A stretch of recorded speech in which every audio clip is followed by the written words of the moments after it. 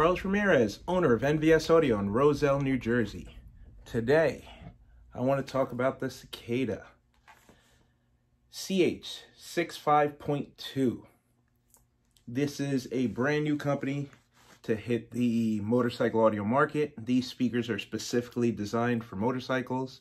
They're weatherproof, super high power handling, large horn loaded compression driver. It's everything you could possibly ask for in a motorcycle speaker. It's super loud. It sounds good doing it. it has a ton of power. Uh, it's Neo Magnet. The owner of the company is actually one of my teachers, one of my mentors. It's Larry Frederick. Larry, I became a dealer for Hertz Audison Electromedia over a decade ago, and Larry was my trainer when I first became a dealer. So he came out to the tri-state area and hosted some classes and taught me how little I knew about high-end audio. Uh, Larry's a super great guy. Um, very strange to deal with. Uh, Larry carries around bullshit cards with him. And if you answer or try to answer a question with bullshit, he will hand you a bullshit card. And he will call you on it every single time. Larry's a numbers guy like me. So it's not opinion, it's scientific fact. And everything he does is by the numbers. He understands motorcycle audio. He knows what it takes to get loud without having stuff blow up. He understands the physical limitations of speakers, amplifiers, and motorcycle environment. And he is willing to explain this to you if you call or email him. So when I opened up the package, the very first thing that caught my attention was the quick start guide. It's not an owner's manual. He purposely makes you go to the website. The owner's manual is 14 pages. But there's some things he wants to make very clear, so he puts them in the quick start guide in every box. So, as I'm reading this, I can hear in Larry's voice because this is exactly the way Larry talks. Larry is super smart, but he likes to have fun and laugh and joke and crack jokes, so we get along very, very well. It says, at Cicada Audio, we manufacture the best in motorcycle audio, period. It says, thank you. We hope you enjoy your audio products from us. We strive to be the best, and your satisfaction is our first priority. Actually, it's our only priority. If you have any problems with our product, please contact us either by phone or email. Also, on our webpage are many interesting tech sheets on multiple common issues. These would be a good go over and get a better understanding of audio. Our mantra is no fairies, no pixie dust, or unicorns. It's all physics. We don't make it up. We just follow the laws of physics. In the rare in the rare circumstance that you are not completely satisfied, please contact us. We want to help. Our customer service team will do their best to make it right. We appreciate your business and strive to make you happy. CicadaAudio.com. Then it's got the phone numbers and email address. Then on the other side, it's got the diagrams for hooking it up. They try to make it as simple as possible. So it comes with the 12 dB crossover, which I like, spade connector, some screw down terminal connectors, which I love because you cannot get a more secure connection than screwing down the terminal unless you solder it, but this is awesome. Uh, the instructions, he calls it plug and play. The only one thing that I noticed that might be an issue, it's got spade connectors, but there should be labels telling you which spade to plug it into because on Harley Davidson, it's backwards. The smaller one is positive and the large one is negative on Harley. On Larry's, they're both the same size. And I know why I did it that way. That way, if you have an issue, you can invert the phase. But I would just love to see in the owner's manual telling you which wire to hook it up to. It is plug and play. I tried it. It plugs into the factory harness inside the pod. But I would have loved to have a little cheat sheet. I know that pink is positive and pink black is negative. But it'd be really nice for it to be in the manual. But uh, Very nice instructions. Uh, shows you how to put it together. Uh, make sure you pilot polarity. Mm. Tech tip. Running tech tip. Power and blowing up speakers. Speakers do not blow themselves up. Somebody has to overdrive them. Usually this overdriving issue is low, being low on power, and the amplifier being driven into clipping. This clipping causes speaker voice coil to get hot, causing the glues to become unglued. The glue unglues and the voice coil gets unglued from the voice coil former. Another contributing factor is running the driver well below its resonant frequency. Always, always, always high pass coax horns like these. Don't run them in full because the speaker cannot play down to 30, 40 hertz, so you will blow the speaker up. Um, he recommends for full power handling 100 hertz high pass 12 dB per octave. That is in the manual. Um, one thing I'm curious about is if the phase of the tweeter is automatically inverted in the crossover. I played them and they sound correct, so I'm assuming that he's got the phase inverted. So once you hook up positive and negative on the tweeter, it will no automatically invert the phase in the crossover to keep the tweeter and the woofer in phase. I have to reach out to Larry and ask him about that. So we'll get to the crossover in a second.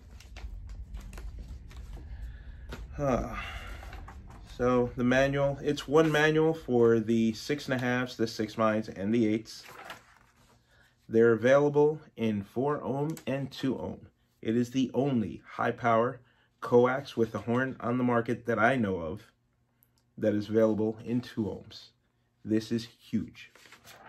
The reason this is huge is, and that's what makes this speaker different from every other speaker I've tested and why I wanted to get a set in my hands as quickly as possible, is you do not have to bridge the amplifier to get maximum power. For example, we're using the Sound Digital Evo X 2400.4 4 ohm. In order for this amplifier to do full power, you can bridge it into two four ohm speakers and it will do 1200 by 1200. In order to get max power out of each individual channel, if you're using 4 ohm speakers, you need two speakers on each channel. With these speakers, you only need four speakers to get maximum power out of the amplifier. So if you use four of the 2 ohm version of the 6.5, the amplifier will do 600 watts per, per channel, equaling 2400 watts RMS. So he's got a beautifully well-written manual but on page five of the manual, I found a mistake. So it's saying that you can add an optional resistor if you want to attenuate or lower the volume of the tweeter. So there it is right there.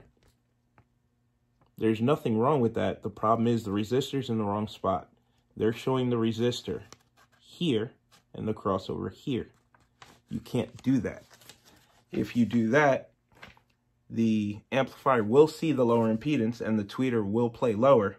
The issue is you've now changed the crossover point because the capacitor in the high pass filter is dependent on the impedance load.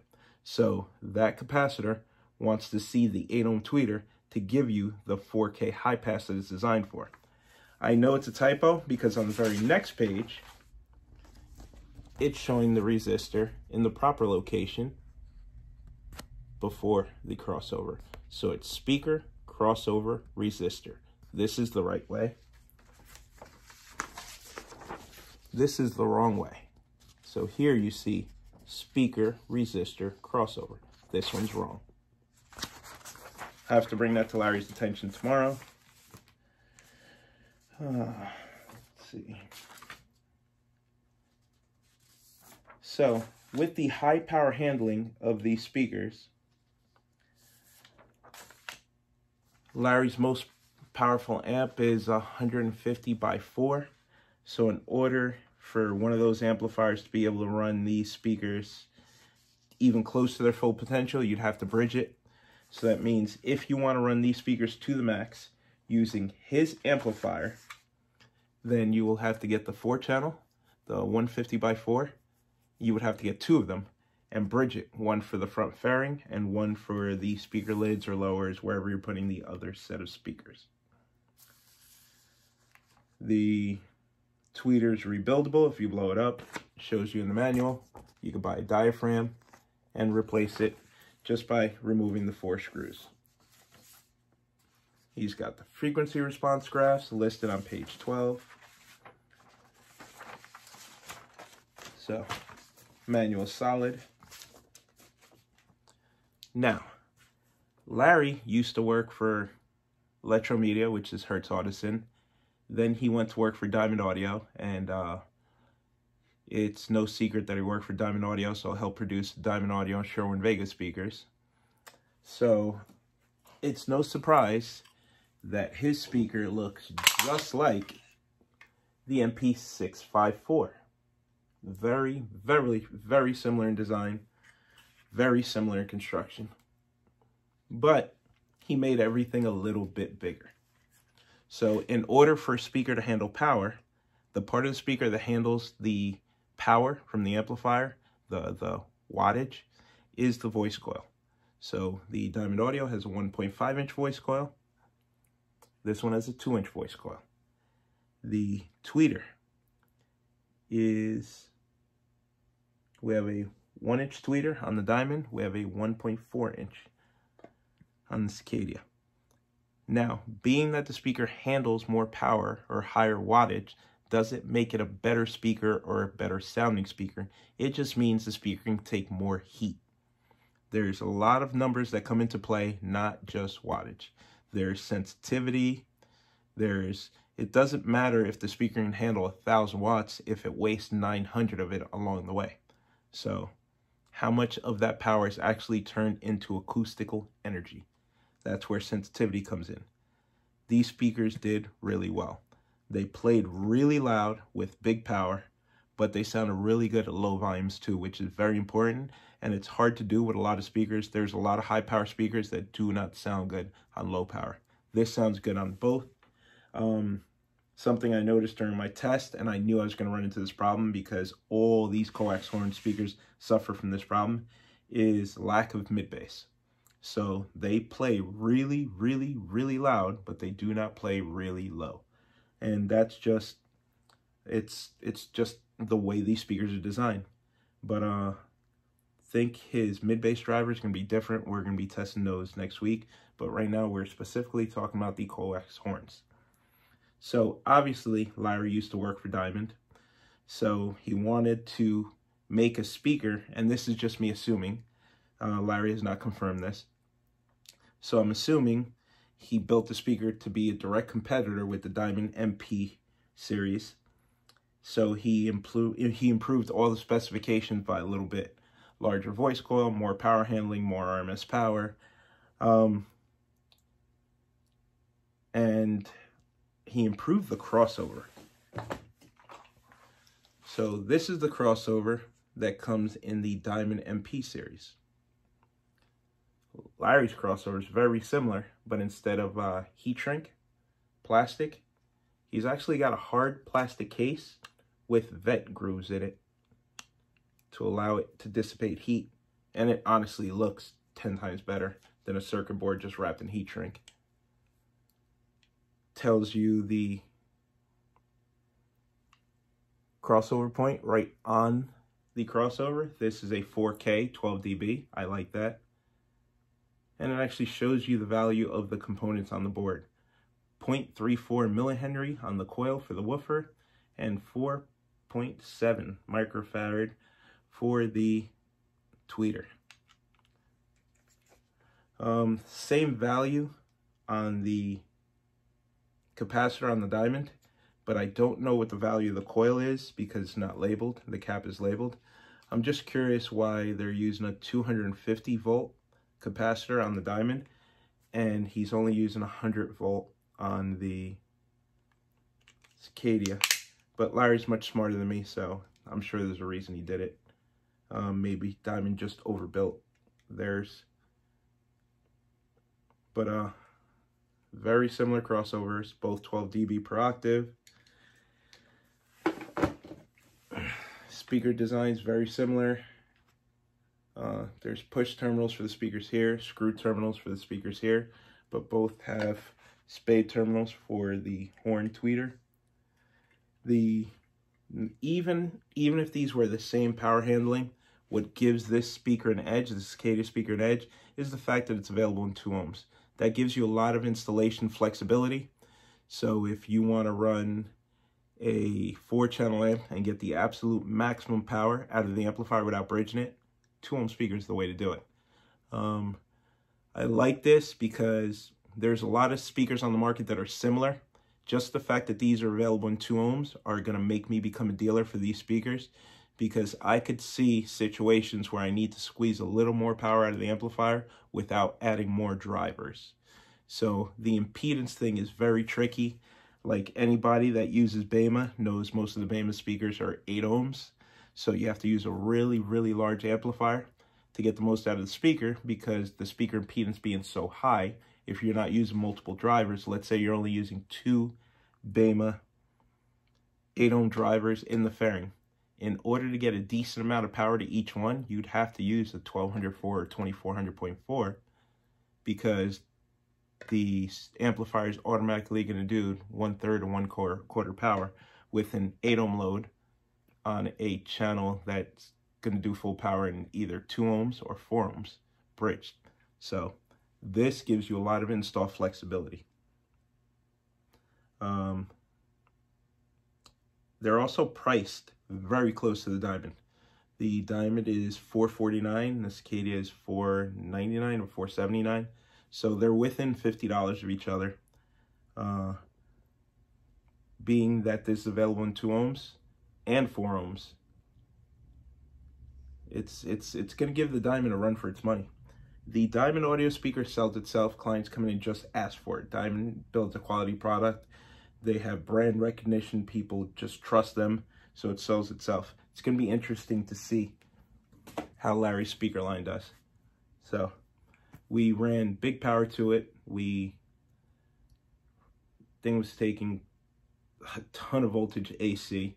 Um, I hit it really hard until the voice coil started to smell. Uh, then I let it cool down, then I hit it again.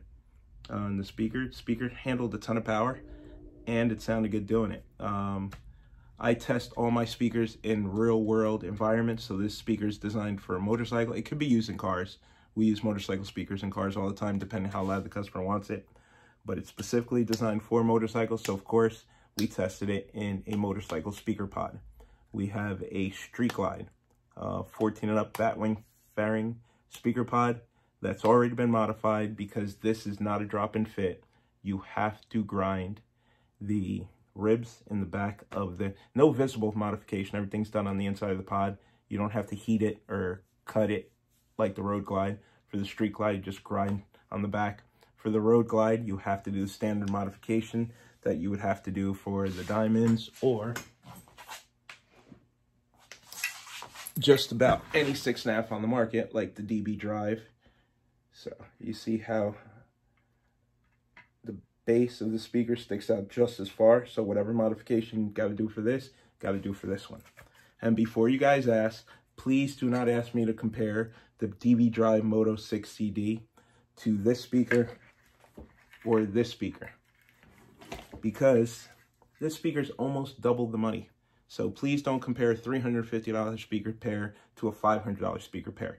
Yes, this one outperforms in almost every way, but it's not fair because it's almost double the money. So this is a really, really good speaker for the money. It's really hard to beat. But if you're spending more money, you can get way more performance. So enough rambling. Let you hear it and run you through the test. All right, we're running the 2400.4. We're only having one channel hooked up. It's a two ohm driver. We have our lithium battery and we're, our target voltage is 27 volts, which will net us 685 watts RMS.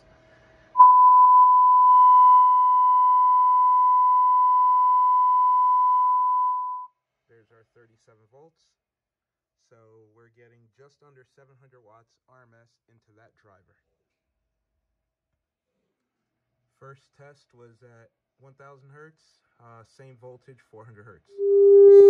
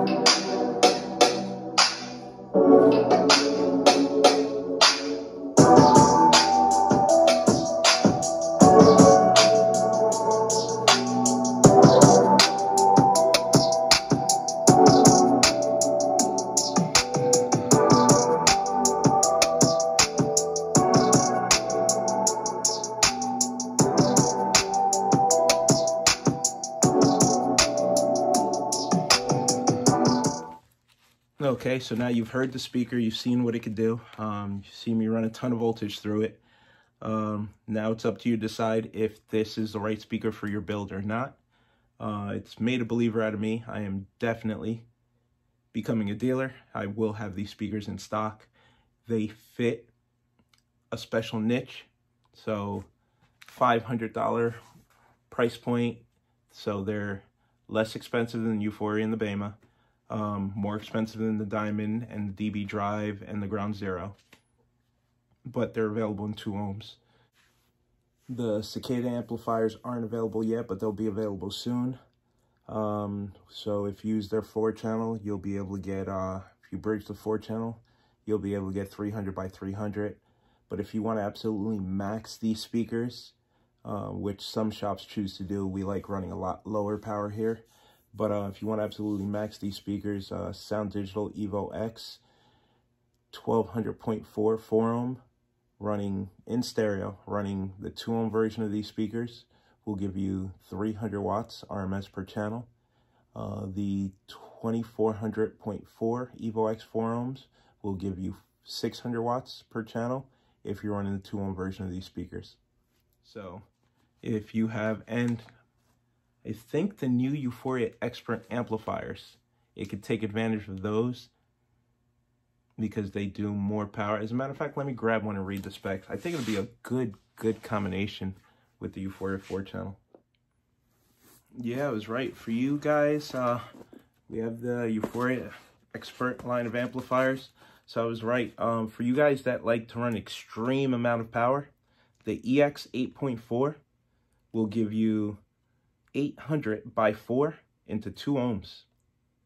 And the EX 9.2 will give you 750 by 2 into 2 ohms. So you big power guys I want to test the limitation of these speakers, that those are two part numbers that would run a ton of AC voltage through these speakers. Uh, for those of you guys that want to push these speakers to the absolute limit. Um, another thing you have to be careful with is that's why I hate talking about wattage. Anybody that knows me knows I do not like to mention wattage because wattage is very misleading. It's a term that that number by itself means absolutely nothing. So wattage just means how much heat a voice coil can take. Wattage has nothing to do with tuning. Wattage has very little to do with my speaker choice because as you can see in the test, we're running double and triple RMS powered a lot of these speakers. So Wattage is just how much heat a voice coil can take before it falls apart. So there's some tricky marketing like uh, For example, these speakers are listed as uh, 500 watts RMS, 1000 watts max, which is true, but that's per pair. So that's 250 watts per driver, which is still an ungodly amount of power. And we just tested the speaker at 700 watts, so it's doing more than double its RMS rated power. So it does the 500 watts that it claims, it does it dynamically. And RMS all day long, the speaker can hold 250 watts, which most four-channel amplifiers can't produce anyway, period. Uh, Sound Digital Evo X 800.4 at 4 ohms does 135 watts. At 2 ohms, it does just over 200 watts. So it's not even exceeding the low-end RMS power number. So please don't get wrapped up in wattage numbers. Wattage is really irrelevant. If what determines how much wattage a speaker can handle is the voice coil size. A typical six and a half has a one inch voice coil. All the badass six and a halves on the market have a one and a half, or in this case, a two inch voice coil. The bigger the voice coil, the more heat the speaker can take. It really has nothing to do with how much music the speaker can play or how it sounds doing it.